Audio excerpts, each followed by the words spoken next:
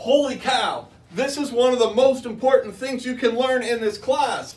Magnetic fields do no work. All right, here's what I want you to do. I want you to scream it. Magnetic fields do no work. No work.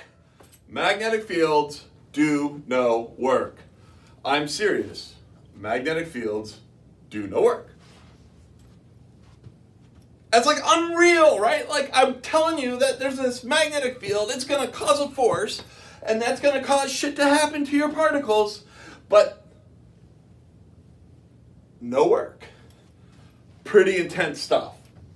Let's do a quick dirty proof. Chapter 8, there's a little bit more of a detailed proof. All right, so let's start with the equation for the work. Work is equal to the integral of f dot dl. Right? All right, well, what's F? Well, for the magnetic field, this is going to be QV cross B. Right? That's just the magnetic force. And dl, we're going to write in a weird way. We're going to say that dl is V dt. Let's prove that. Right, the velocity is equal to dl over dt. Right, if I'm changing my path, right, the, it, right, that's going to be the, the change in my path over the change in time. Hey, that's what velocity is. So to solve this, I just cry chop that thing and multiply, and you get dl is equal to v dt. Woohoo! All right, so I plug that in, right, and that gives me some ridiculous vector quantity, right? So um, q d times dt is equal to v cross b dot v. Okay, so this is some like scalar mumbo jumbo. We'll have to look at it. All right, so there's a ton of ways to do this. I would just look at this and spin it, and I would immediately see that v cross v, it's zero. But let's let's do a let's do a proof.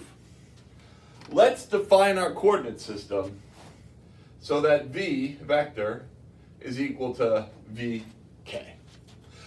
So, right, I can define whatever coordinate system so that at the moment I look at the velocity that I'm interested at, at that moment,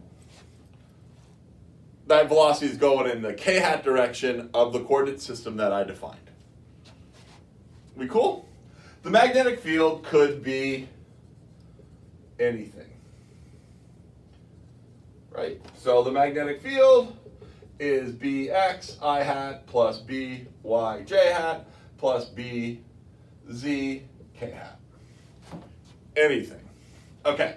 So let's do this dot product. So we have if we look at this, we can restructure it. It's a triple product, right? So if I look at a triple product, this is a determinant. So I have i hat, j hat, k hat.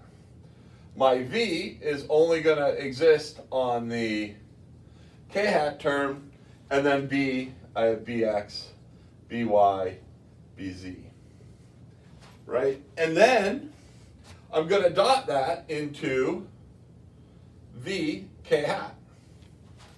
So what that's going to do is it's going to make this the item that I have of the triple product being a determinant, ultimately giving me a scalar.